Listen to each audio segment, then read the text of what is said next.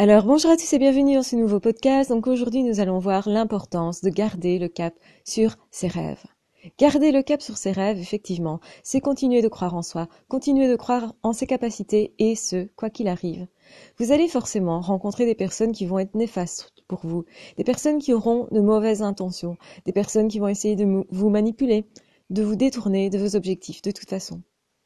C'est même la priorité du pervers narcissique. Donc si vous croisez un ou une pervers narcissique, eh bien forcément, cette personne va tout faire pour que vous laissiez sur le bord du chemin vos rêves, que vous les écrasiez vous-même, que vous cessiez de croire en vous, en vos capacités, en vos facultés, en vos objectifs, que vous les perdiez de vue, que tout soit confus, que vous n'y arriviez tout simplement donc oui, la meilleure revanche, c'est de toute façon garder le cap sur ses rêves. La meilleure revanche, c'est de continuer de croire en ses rêves. La meilleure revanche, c'est de reprendre du poil de la bête pour enfin se remettre debout, pour enfin aller vers ses rêves. Pour faire ça, il faut effectivement faire bien la distinction entre ce qui est mis à mal par le pervers narcissique et votre rêve. Parce qu'effectivement, on a tendance à confondre les deux. Alors, d'une part, vous avez votre rêve, effectivement, le rêve d'être en couple, le rêve d'être dans une telle société, le rêve de réussir professionnellement, le rêve de vous épanouir professionnellement, le rêve de vous faire de bons amis, le rêve d'être une personne qui correspond à tel ou tel critère. Tout ça, ce sont vos rêves, et vos rêves sont à sauvegarder, parce que c'est vraiment vous, et vous ne pouvez pas faire fi de ça, sinon vous serez malheureux, sinon ce ne sera plus vous, sinon effectivement vous perdez une partie de vous-même. C'est justement ce que veulent les pervers narcissiques, c'est que vous laissiez de côté vous-même, votre rêve, ce que vous êtes, votre profondeur, votre intensité et votre vie. Effectivement, votre vitalité est à sauvegarder. Donc, surtout, gardez vos rêves. Il est tout à fait possible d'être en couple, même si vous avez été en, contact avec un pervers narcissique qui ne vous l'a pas autorisé.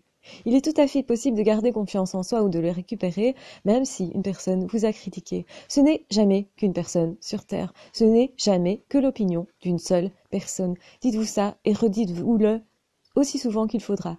Notez-le peut-être sur votre miroir. Sachez que une personne n'a pas le droit de décider pour vous de votre vie et de votre valeur. Surtout, surtout, gardez le sens de votre valeur et si vous ne l'aviez pas avant, eh bien, essayez de l'acquérir ce n'est pas parce qu'une personne vous critique que vous devez vous arrêter en chemin. Ce n'est pas parce qu'une personne vous jalouse, une personne vous manipule, parce qu'une personne vous veut du tort, vous veut du mal, disons-le clairement, que vous devez vous arrêter.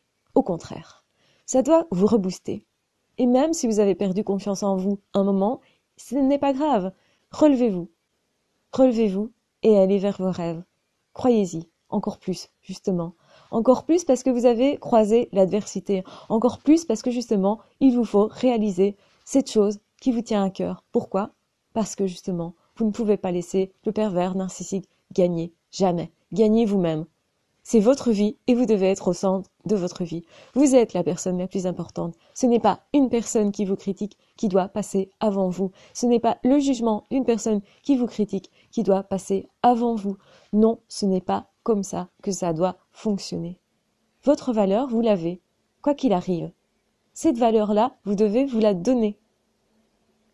Il n'y a pas de gens qui n'ont pas de valeur, sauf les personnes qui les laissent effectivement piétiner par les autres. Vous ne devez pas laisser votre valeur piétiner par les autres. Vous ne devez pas laisser vos rêves piétiner par les autres. Vous ne devez pas les écraser vous-même. Parce qu'en réalité, c'est vous qui les écrasez. Vous écoutez trop l'opinion d'une autre personne. Vous n'avez pas honte de faire ça parce que vous vous manquez de respect. Oui, vous vous manquez de respect si vous faites ça. Vous ne vous aimez pas suffisamment. Alors commencez aujourd'hui à changer les choses, à vous aimer? Commencez surtout à avoir du respect pour vous, à estimer que vous avez assez de valeur pour effectivement aller vers vos rêves, que vous avez assez de valeur pour pouvoir atteindre ces rêves-là, quels qu'ils soient. Vous voulez être en couple, vous pouvez être en couple. Vous voulez séduire telle ou telle personne, vous pouvez, mais croyez en vous parce que c'est là le principal. Vous voulez avoir telle vie professionnelle? Eh bien, allez-y. Changez si ça ne vous convient pas. Rien n'est jamais trop tard.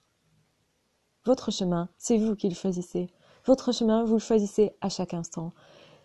Et ne croyez pas qu'avoir rencontré des manipulateurs peut être si déterminant que ça. C'est en réalité vous qui décidez à chaque instant si oui ou non vous vous laissez faire, si oui ou non vous croyez en ce que ces personnes disent de vous, ou que ces personnes disent de vous. Ce n'est pas parce qu'ils sont nombreux qu'ils ont d'office raison. Ça, c'est faux. C'est à vous de choisir qui a raison, qui a tort. C'est le discours que vous vous dites à vous qui importe. Alors, vous croyez en vos rêves, vous croyez en vous, si vous croyez en vos rêves, vous avez une chance de les réaliser. Si vous ne croyez pas en vos rêves, vous n'avez aucune chance de les réaliser. Non, aucune.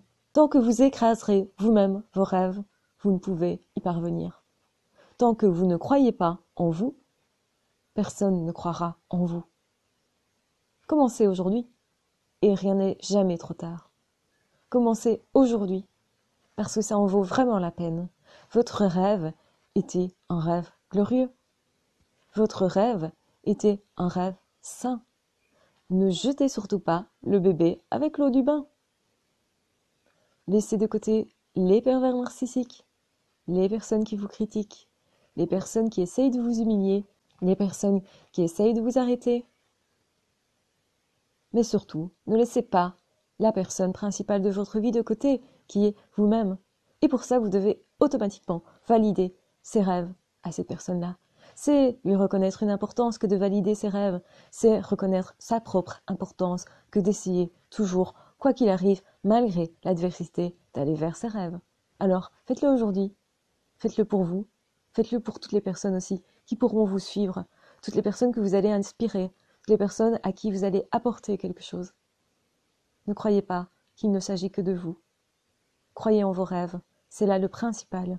Et oui, c'est comme ça qu'on reprend sa revanche. Et oui, c'est comme ça que l'on fait un pied de nez aux manipulateurs, aux critiqueurs, à toute espèce d'être humain qui un jour a voulu vous arrêter pour X raison que ce soit. Ne laissez pas ces gens-là mener votre vie, mener votre vie. Vous-même, c'est vous le principal acteur de votre vie.